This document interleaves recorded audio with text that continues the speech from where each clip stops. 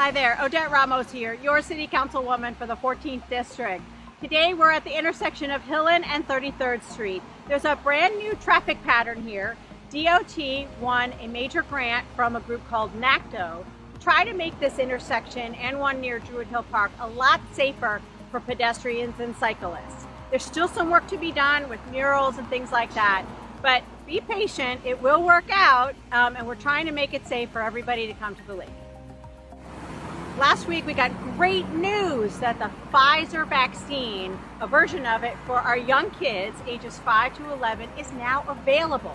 The Baltimore City Health Department will be announcing today how they're going to distribute that um, as well as our uh, other pharmacies. So be patient, the shot will be available for your child. I am so excited that my fourth grader can get vaccinated.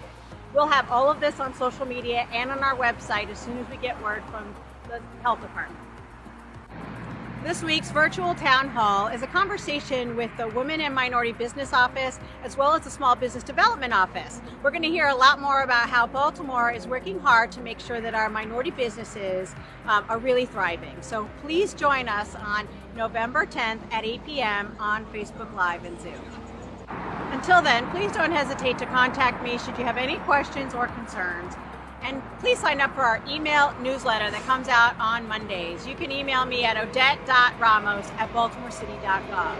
So until all of our kids get vaccinated, make sure you're wearing your mask.